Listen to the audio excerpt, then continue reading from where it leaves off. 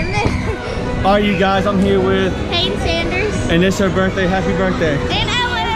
And Hayden. And the whole squad. So, I will catch you guys later. You guys are awesome.